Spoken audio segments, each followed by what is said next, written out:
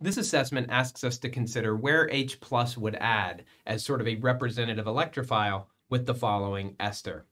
I've highlighted there are two lone pairs on each oxygen, so we would expect either of those oxygens to be good nucleophiles or good bases. To determine which is best, let's consider protonating at both positions.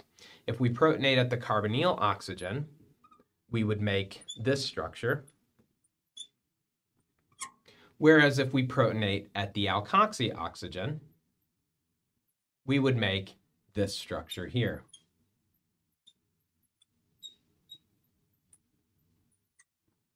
Now we know in organic chemistry that the ball always rolls downhill, so now we have to choose which of these two is more stable, and that's going to be the oxygen that preferentially protonates. The structure here simply has a positive charge on oxygen, and we can't really do anything to help stabilize that. This oxygen, on the other hand, we can draw an additional resonance structure that delocalizes that positive charge onto the other oxygen